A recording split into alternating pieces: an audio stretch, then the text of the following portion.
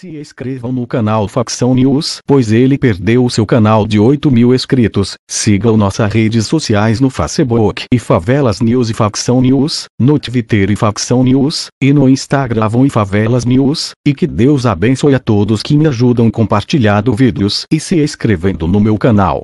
Cinco pessoas da mesma família, dentre elas um bebê de apenas nove meses, foram expulsos de casa por homens integrantes de uma facção criminosa GDE em Fortaleza.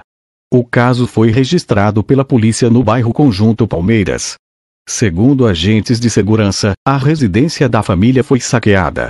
Após ser obrigado a deixar o próprio lar, o casal fez a denúncia do caso no 30 Distrito Policial, delegacia responsável pela área. Logo em seguida, os policiais saíram em investigação e realizaram a prisão de cinco pessoas e apreenderam quatro adolescentes na região. Ameaças de grupo criminoso Segundo a polícia, a família passou a receber ameaças logo após o filho do casal se envolver em uma briga com membros de uma facção que comanda o crime na região. A discussão teria acontecido na última quarta-feira, 5, quando o jovem saiu de casa. Durante a expulsão da família, um dos suspeitos chegou a cortar o cabelo da filha de 13 anos do casal.